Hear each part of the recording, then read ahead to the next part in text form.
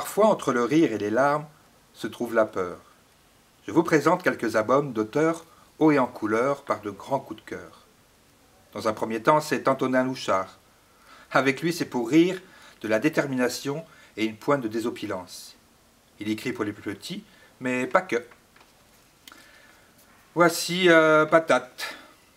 Tous les chiens aiment jouer à rapporter la baballe. C'est vrai. Encore faut-il le demander gentiment.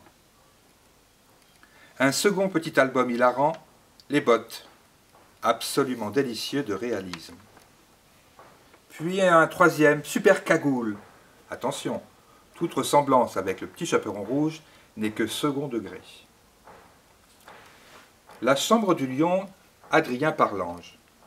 Un jour où le lion n'est pas là, un enfant courageux décide de visiter sa chambre. Mais à peine entré, il entend un bruit et croit que c'est le lion qui revient. Alors, il se cache sous le lit, mais ce n'est pas le lion. Seulement une petite fille qui a eu la même idée et entre à son tour dans la chambre pour la visiter. Je vous invite aussi à découvrir son dernier album, Le Grand Serpent. Je vous présente Un petit chaperon rouge de Marjolaine Leray.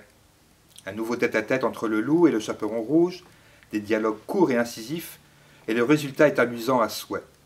Vous ne trouverez pas de forêt, juste un décor réduit à sa plus simple expression pour se centrer sur le dialogue entre les deux héros. Et ça, c'est sans appel.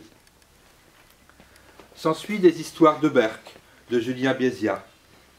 L'autre jour, un truc terrible est arrivé dans mon bain. J'ai posé Berck sur le bord de la baignoire et je suis allé jouer dans ma chambre le temps que l'eau finisse de couler. Le problème, c'est qu'il a glissé et plouf Trouillette, ma tortue, a paniqué. Berck se noie se noie On retrouve également notre jeune ami dans La nuit de Burke. L'autre jour, un truc terrible est arrivé dans mon école. Et puis, dans ses dernières aventures, l'œil de Berck. Avez-vous déjà essayé de vous promener dans les paysages peints par Van Gogh? Vous posez autour d'un petit déjeuner entre les personnages de Modigliani ou Magritte Vivez l'aventure de la découverte des grandes œuvres d'art à travers la récréation de Ricardo Guasco, l'auteur de cet album sans texte. Quel chef-d'œuvre pour finaliser cette présentation, voici un dernier auteur, un artiste visuel, Antoine Guillopé.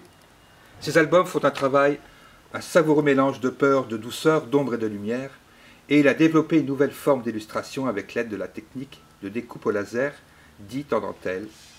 Cette nouveauté, cette nouvelle technologie a définitivement mis son travail en lumière.